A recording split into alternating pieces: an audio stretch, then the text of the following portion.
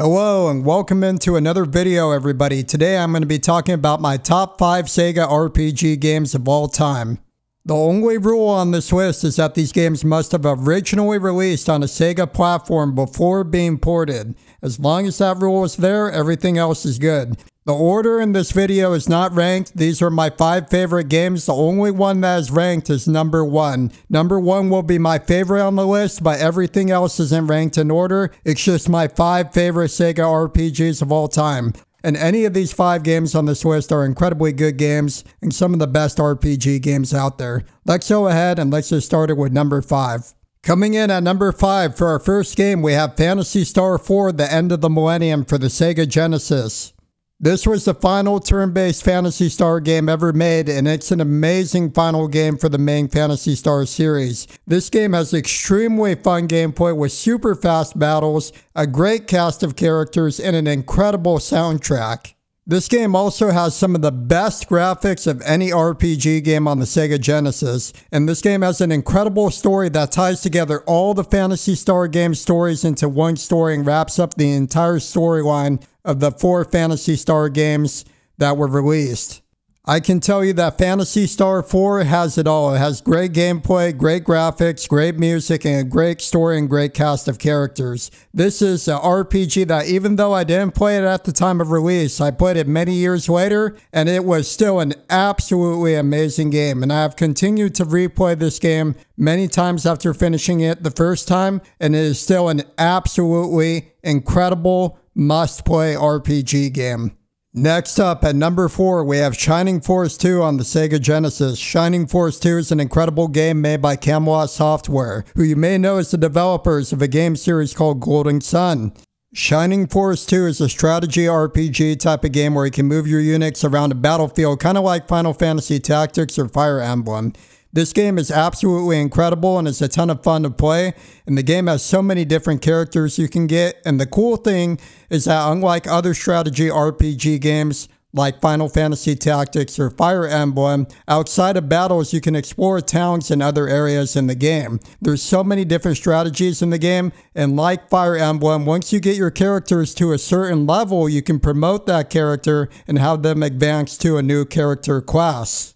Shining Force 2 also has an incredible game soundtrack, and the music in the game is unforgettable. This is another game that I played multiple times from start to finish on this list, and every single playthrough I played of this game, I have had a blast playing through this game. This is a must play game for people who enjoy RPGs like Fire Emblem or Final Fantasy Tactics. Shining Force 2 is without a doubt one of the best strategy RPG games ever created. At number three, we have Skies of Arcadia, which originally released on the Dreamcast. I remember playing this on the Dreamcast and being absolutely amazed by this game. I didn't know anything about Skies of Arcadia at the time other than it was an RPG game. Me being an RPG fan, I had to of course play it because I'm a big fan of RPG games. And when I played Skies of Arcadia, I was so incredibly impressed with how good this game was. It almost instantly became one of my favorite RPG games. The game has you playing as a group of pirates who sail on a ship across the skies of the world to fight an evil empire to save the world. The game has an incredibly massive rogue map with a lot to explore and a ton of battles to fight. The game has super fun battles with super cool characters and some of the best characters in RPG. This game not only has cool turn-based fights, you fight on foot, but you also fight ship battles in the sky with your ship against other ships. These battles you do in the sky with your ship have really cool, unique battle mechanics that are a nice, refreshing change of pace and also add a lot of variety to the game. Skies of Arcadia, also like the other games I mentioned in this video, has a very good soundtrack with great area themes and awesome battle themes. For RPG fans, Skies of Arcadia is an absolute must-play game. Coming in at number two, we have Lunar 2 Eternal Blue on the Sega CD. Lunar 2 is one of my favorite turn based games ever made. This game is legendary. This game has one of the best stories and cast of any characters in any RPG ever. Not only that, but this game has classic turn-based battles with a fun battle system and a cool customization system where you can level up characters' abilities. I played Lunar 2 when I was much younger as a kid, and even many years later, this is still absolutely one of my favorite games of all time. Even to this day, I still do full playthroughs of this game from beginning to end, and I have a ton of fun every playthrough I do of the game. Every aspect of Lunar 2 is top notch, and this game is unbelievably good. The first Lunar was a great game, but with Lunar 2, they took it to a whole new level and made such an incredibly good game a friend introduced me to Lunar 2 back in the day, and he was telling me, like, dude, you gotta play this game. This game is so good. And this was back around when it released. And I played it, and I knew as soon as I had begun playing that game that it was an amazing game. And after trying out my friend's copy of the game, I went and purchased the game, and it is still one of the best game purchases I've ever made to this day. Lunar 2 is a legendary game. For number one, we have Shining Force 3 on the Sega Saturn. Shining Force 3 is not just a good game, not just a great game, but this game is elite. This game, in my opinion, is the best strategy RPG game ever made. Fire Emblem, Shining Force 2, and Final Fantasy Tactics are all amazing games, but this has always been my favorite strategy RPG game. What makes this game so incredible is that this game consists of three games. Shining Force 3 has three scenarios you play through, each one being its own full length game. The three different games are all connected in story and share characters and all take place in the same game world and build upon the previous games for an incredibly awesome finale in the third and final game of the series.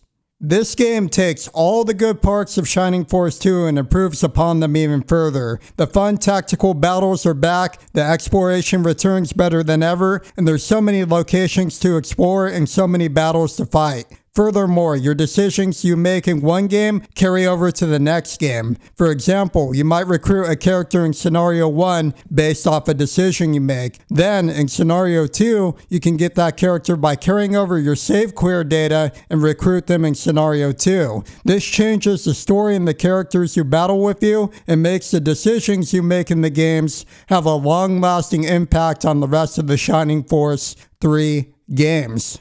Composer Motoi Sakuraba does the Tales of game music, and the music in the Dark Souls games is the composer of Shining Force 3's music, and the music in the game is awesome. The battle themes are intense, and the music in the game is so well done. Shining Force 3 is an absolute must play for anyone who likes RPG games. Overall, thank you to everyone who watched the video. I appreciate it. Make sure to subscribe to the YouTube channel and follow me on Twitch over at twitch.tv backslash shockstorm. Over on my Twitch channel, I do full game playthroughs of single player games from the beginning of the game to the end credits and then review the games I finish on stream. Make sure to follow me over on Twitch. I would greatly appreciate it. And as always, let me know your favorite Sega RPG games in the comments below. And I want to say thank you all so much and everyone have a good one. Thank you all for watching.